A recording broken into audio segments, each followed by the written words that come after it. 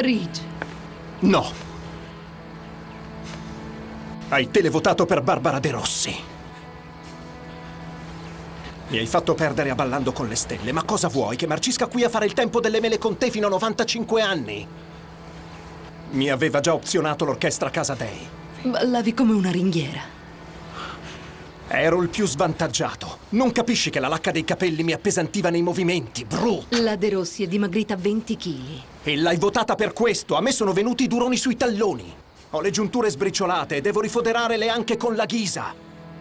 E come se non fosse abbastanza. Ho un mal di testa.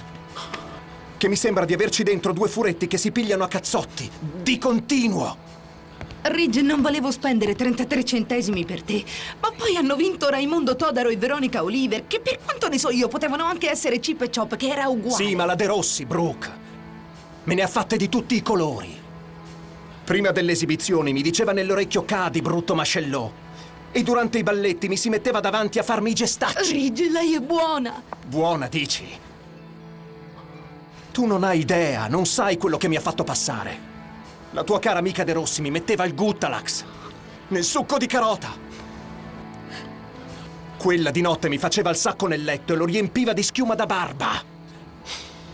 E mi sabotava le scarpette da ballo, segando i tacchetti per dinci. Ha provato anche a sedurre il giudice Fabio Canino, che quello si sa, preferisce financo. Paolo Belli. Basta, non siamo più amichetti! Dove scappi, Ridge? Devi mettermi incinta! Subito!